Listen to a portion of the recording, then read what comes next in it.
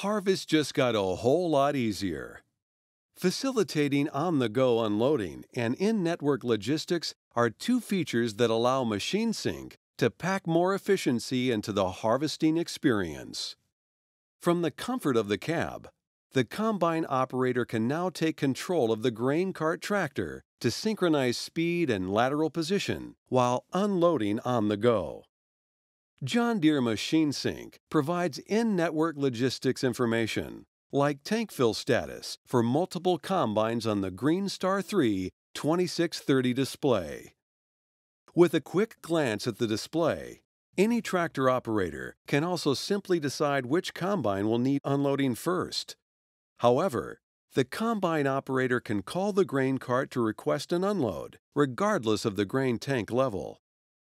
The other operators can easily calculate their next most productive move by watching the display, all without taking their focus off the field in front of them. The adoption of on the go unloading during harvest continues to increase as combines spend more time unloading record setting yields.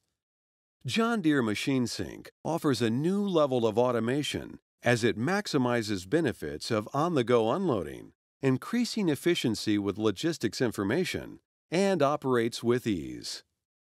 MachineSync relies on the in-field communication network created by John Deere Machine Communication Radio.